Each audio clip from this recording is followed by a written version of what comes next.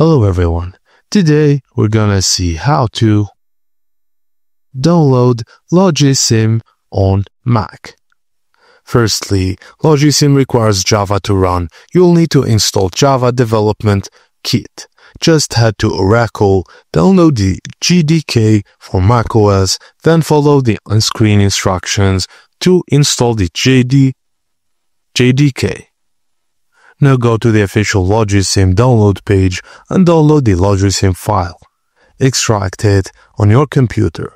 Control click on the extracted Logisim folder, click Show Package Content, then inside the Java folder you'll find the .jar file.